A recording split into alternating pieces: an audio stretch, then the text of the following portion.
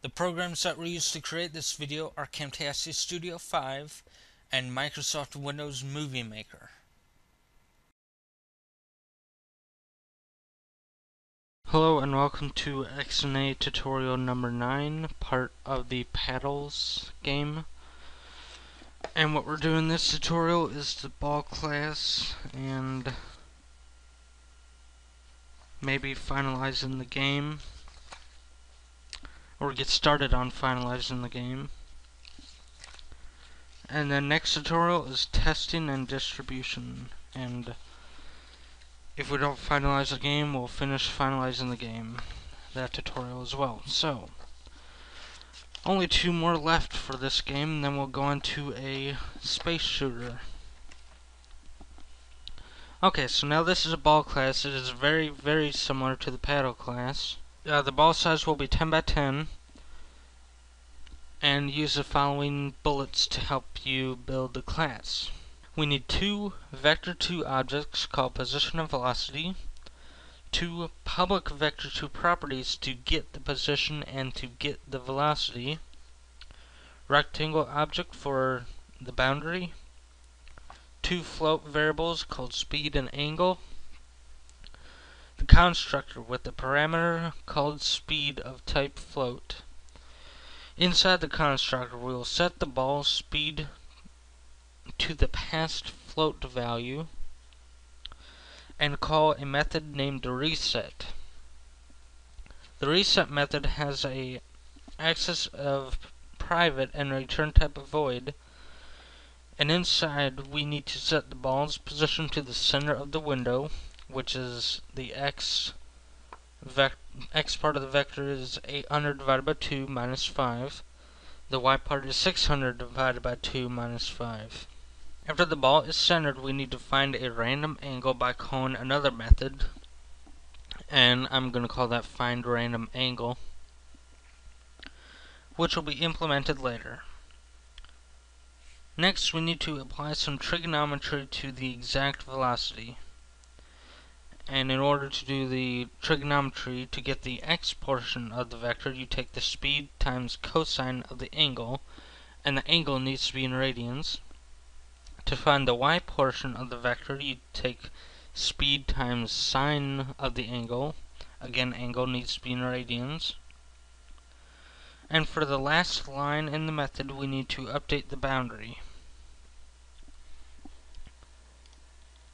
The find angle find random angle method will have an access as private and a return type of void.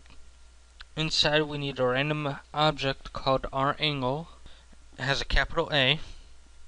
We also need an integer called r to hold the int values we get from rangle.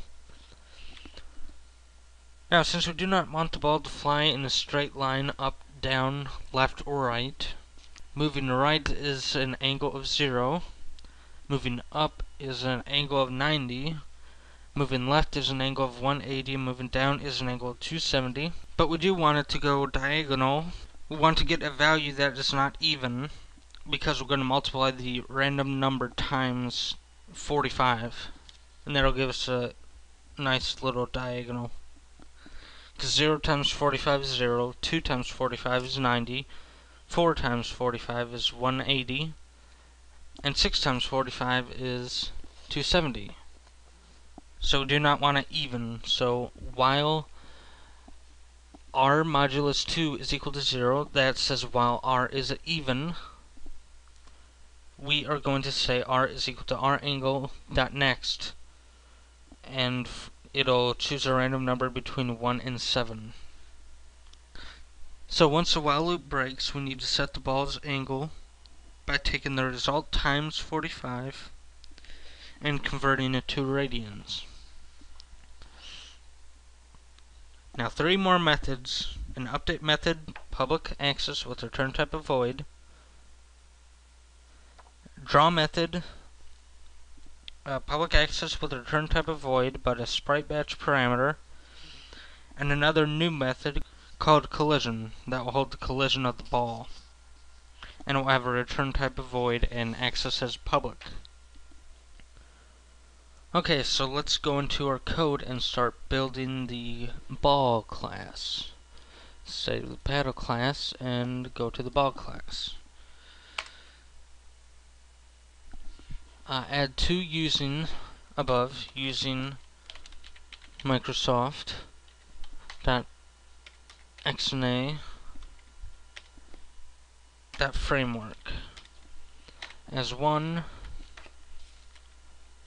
we're gonna highlight that and copy it paste it at the bottom and then another one will be framework.graphics okay. So two vector 2's a position and a velocity now we need two of those properties.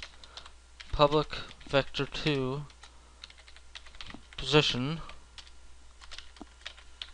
And we'll get return lowercase position. And the property has an uppercase p for position. And then the other property will be public vector 2 capital V velocity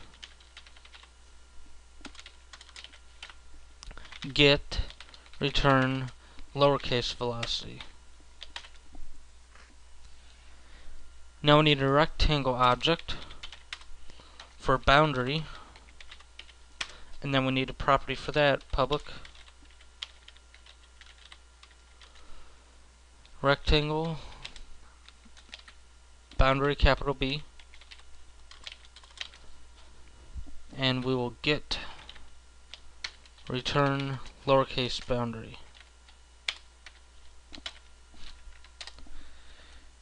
Now we need to float speed and angle.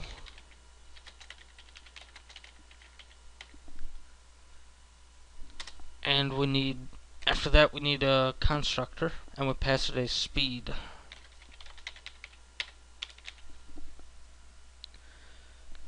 Inside the constructor, we call this dot speed is equal to the past speed and we'll call reset. And since we didn't create it, it'll want us it'll ask us if it wants us to auto generate, just have it auto generate. Inside the reset, we want to set the speed of the ball to a nice small speed, but not too small, because every time the ball hits a paddle, we're going to increase the speed a little bit. That'll make it harder for the player and the computer to keep up. So it won't be too boring. We want to center the position. So in order to do that, we take 800 divided by 2 and we subtract 5, which is half the ball's width. And we do the same thing for the y value, but it's 600 divided by 2 minus 5. Now we call find random angle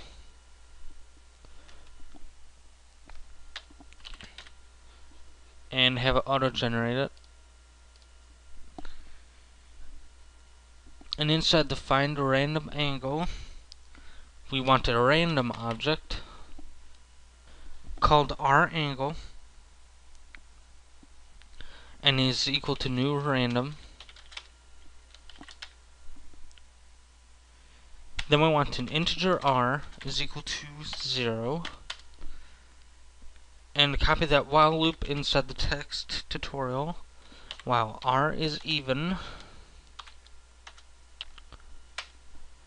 get a random number from our angle